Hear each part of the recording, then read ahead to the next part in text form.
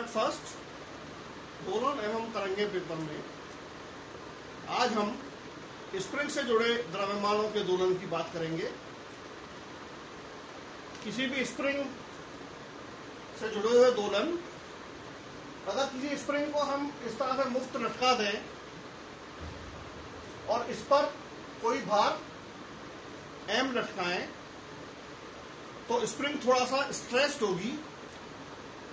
इस भार के कारण यह इसका जो गुरुत्वीय बल लगता है, उसके कारण यह कुछ दूरी पर खिसक जाएगी। वाई ज़ीरो पर। यानी स्प्रिंग की लंबाई वाई ज़ीरो से बढ़ जाएगी। और फिर इस द्रव्यमान को यह जाकर यह स्थिर हो जाएगी। अब इस द्रव्यमान को थोड़ा सा हम नीचे खींचें और इसको छोड़ दें।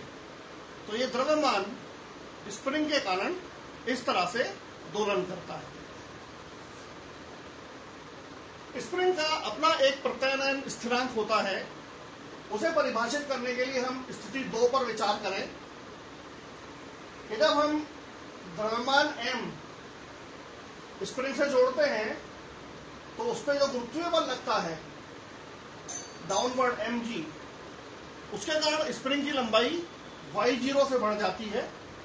तो लगा हुआ प्रत्यानयन बल हमारे पास है F equal to minus K Y zero और साम्यावस्था में, क्योंकि यहाँ पर जाकर यह द्रव्यमान स्थिर हो जाता है, यहाँ यह द्रव्यमान पूरी तरह से स्थिर हो जाता है तो यहाँ साम्यावस्था आ जाएगी। साम्यावस्था में गुरुत्वीय बल इस प्रत्यानयन बल के बराबर होगा, और हम स्प्रिंग का प्रत्यानयन नियतांक के परिभाषित कर सकते हैं। K equal to M G upon Y zero तो किसी भी स्प्रिंग से एक नियत द्रव्यमान हम इसमें लटका दें और वाई ज़ीरो ज्ञात कर लें कि उस द्रव्यमान के कारण स्प्रिंग की लंबाई कितनी बढ़ रही है तो हम स्प्रिंग का बल नियतांक ज्ञात कर सकते हैं। अगली स्थिति में हम इस द्रव्यमान को थोड़ा सा खींच कर नीचे की ओर विस्थापन देकर छोड़ देते हैं। उस अवस्था में यह द्रव्यमान इस तरह से दोलन करने लगता है। तो फिर हमने द्रव्यमान को मान लिया वाई विस्थापन दिया है एक्स विस्थापन मान लें। तो एम द्रव्यमान को खींचने पर वह प्रत्यानयन बल के कारण दोलन करने लगता है। तो हमारे पास जो बल है M D two X by D T square equal to minus K X जहाँ पर के हमारे पास स्प्रिंग कॉन्स्टेंट जो हमने यहाँ पर परिभाषित किया है इस इक्वेशन को हम इस तरह से लिख सकते हैं सॉल्व करके। और सिंपल हार्मोनिक मोशन सरल आवर्त गति की इक्वेशन ऑफ़ मोशन हमारे पास है D two X by D T square plus omega square X equal to zero जहाँ पर ओमेगा कोणीय आवृत्ति है। इन दोनों समीकरणों को मैच करें तो स्प्रिंग से जुड़े हुए द्रव्यमान के लिए कोणीय आवृत्ति हमारे पास आती है omega equal to K by M और आवर्तकाल अगर हम परिभाषित करें, कोणीय आवृत्ति आवृत्ति का रिलेशन कोणीय आवृत्ति और आवर्तकाल का रिलेशन तो इससे हम आवर्तकाल परिभाषित कर सकते हैं T equal to two pi one upon two pi under root M upon K P यहाँ से हम के का मान लिखे इसमें तो आवर्तकाल हमारे पास आता है one upon two pi Y zero by G से। यानी आवर्तकाल हमारे पास वाई ज़ीरो पर निर्भर कर रहा है। आवर्तकाल नियत है। आप इसे थोड़ा और भी अगर खींच देंगे तो भी आवर्तकाल हमारे पास इसके लिए नियत ही रहेगा। अब हम अलग अलग स्प्रिंगें जब जुड़ी हुई होती हैं तो उनके लिए इसी समीकरण को उत्पन्न करने की कोशिश करेंगे।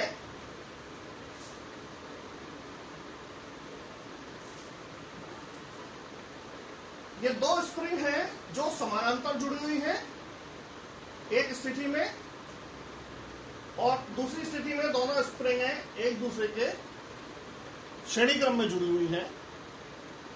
पहली अवस्था में हम मान लें कि दो स्प्रिंग जो K1 और K2 कांस्टेंट की हैं, इन दोनों से हमने एक द्रव्यमान M जोड़ा हुआ है। यह अवस्था इस तरह से भी हो सकती है यह अवस्था इस तरह से भी हो सकती है। जब इस m द्रव्यमान को थोड़ा सा खींच कर छोड़ेंगे तो दोनों स्प्रिंगों के कारण ये दोलन करना प्रारंभ हो जाएगा। पहली स्प्रिंग के कारण इस पर बल लगेगा F1 one equal to minus K Y one दूसरी स्प्रिंग के कारण, क्योंकि इसका स्प्रिंग कांस्टेंट K2 है तो इसके इसके कारण यहाँ पर बल लगेगा प्रत्यानयन बल F2 two equal to minus K two Y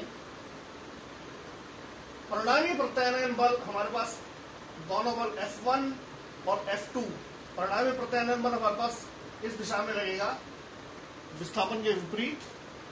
तो F equal to F one plus F two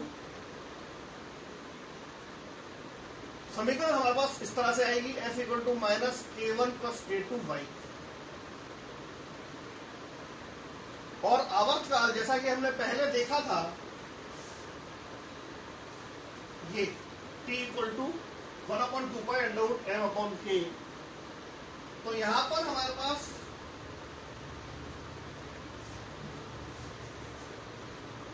प्रभावी प्रभावी स्प्रिंग नियतांक के वन प्लस के टू होगा। और आवर्त काल हमारे पास आएगा T equal to two pi doubt M upon K one plus K two यानी जब स्प्रिंगों को समानांतर क्रम में जोड़ा जाता है तो स्प्रिंगों का स्प्रिंग नियतांक सामान्य रूप से जोड़, जुड़ा, जुड़ जाता है। और प्रभावी स्थिरांक, प्रभावी प्रत्यानयन स्थिरांक। दोनों स्प्रिंगों के प्रत्यानयन स्थिरांक के योग के बराबर होता है। पहला केस दूसरे केस में एक के बाद एक स्प्रिंग जोड़ी हुई है।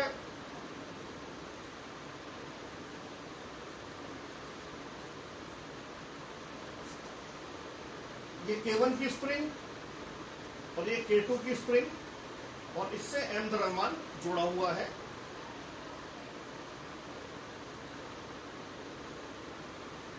इस एम द्रव्यमान को हम थोड़ा सा नीचे खींचकर छोड़ दें तो ये दोलन करना प्रारंभ हो जाएगा।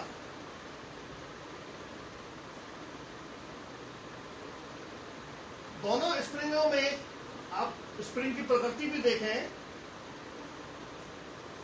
जिस स्प्रिंग के लिए केवल अधिक है, उसके लिए विस्थापन भी अधिक होगा और जिस स्प्रिंग के लिए प्रत्यानयन स्थिरांक का मान कम है, समान द्रव्यमान लगाने पर उसका विस्थापन कम होगा। तो इन दोनों में, दोनों स्प्रिंगों में, पहली स्प्रिंग में बल F, दूसरी स्प्रिंग में भी बल एफ़ प्रत्यानयन बल। लेकिन दोनों में विस्थापन अलग अलग है। तो इस अवस्था में आप बल लिखेंगे। पहली स्प्रिंग के रेस्पेक्ट में तो F equal to minus K one Y one ये वाई वन से इसकी लंबाई बढ़ती है और F equal to K two Y two दूसरी स्प्रिंग में विस्थापन वाई टू हमारे पास आता है। और प्रणामी विस्थापन हमारे पास इस द्रव्यमान में दिखाई देता है। कि इस द्रव्यमान को जब आप नीचे खींचेंगे तो यह जितना भी स्प्रिंगों में जो वाई वन और वाई टू आ रहा है, उस विस्थापन के बराबर, वही विस्थापन जो हम नीचे खींच रहे हैं, दोनों स्प्रिंगों में बटेगा वाई वन और वाई टू में। तो परिणामी विस्थापन का मान y equal to Y one plus Y two इस समीकरण से आप लिख सकते हैं Y one equal to minus F upon K one इस समीकरण से आप लिख सकते हैं Y two equal to F upon minus F upon K two और इक्वेशन ऑफ़ मोशन लिखे हम। इसमें तो y तो हमारे पास आएगा f equal to minus K Y जो फाइनल इक्वेशन होगी हमारे पास यहाँ पर इस m द्रव्यमान के लिए। इससे आप लिख सकते हैं y is f by k with negative sign. Phi 1 is this one. Phi 2 is this one. तो इससे हमारे को एक समीकरण प्राप्त होती है। One upon K equal to one upon K one plus one upon K two यानी जब स्प्रिंगें श्रेणी क्रम में एक दूसरे से जुड़ी हुई होती हैं तो उसका प्रभावी प्रत्यानयन स्थिरांक निकालने के लिए यह समीकरण है। अगर तीसरी स्प्रिंग और जुड़ी हुई हो तो प्लस थर्ड हो जाएगा वन बाई के थ्री इस समीकरण को सॉल्व करें तो हमारे पास प्रभावी प्रत्यानयन स्थिरांक के आता है K one K two upon K one plus K two यह इस पूरी संयोग के लिए, इस पूरे निकाय के लिए, इस पूरे सिस्टम के लिए प्रभावी स्प्रिंग नियतांक है। प्रभावी स्प्रिंग नियतांक को हम आवर्तकाल में रख रखें तो इस निकाय के लिए आवर्तकाल परिभाषित किया जा सकता है। इस तरह से T equal to two pi under root M K one plus K two upon K one K two यह स्प्रिंग से जुड़े हुए द्रव्यमानों की सरल आवर्त गति प्रदर्शित करता है। अगर स्प्रिंग लचीली है, बहुत अच्छी स्प्रिंग है तो यह द्रव्यमान अनंत काल तक इसमें लागू रह सकते हैं। स्प्रिंग को जब हम हम देख रहे हैं कि जब दो स्प्रिंग को आप श्रेणी क्रम में जोड़ेंगे के वन प्लस के टू तो इसका आवर्त काल थोड़ा कम हो जाएगा। और इस समय इसका आवर्त काल थोड़ा सा बढ़ जाता है। तो यहाँ के वन प्लस के टू और यहाँ के वन के टू है। तो निश्चित रूप से मल्टीपल जो होगा वो वैल्यू ज़्यादा होगी। तो टी का मान हमारे पास थोड़ा सा कम हो जाएगा। यानी इस समय आवर्त काल हमारे पास कम हो जाता है। एक दोलन करने में कम समय लगाती है, ये वाली स्प्रिंग है। और ये इस तरह का संयोग जब होगा तो एक दोलन करने में तो के वन प्लस के टू हमारे पास ये कम हो जाएगा तो टी का मान बढ़ जाएगा, आवर्तकाल का मान बढ़ जाएगा। यानी इस समय एक दोलन करने में स्प्रिंग ज़्यादा समय लगाती है। Thank you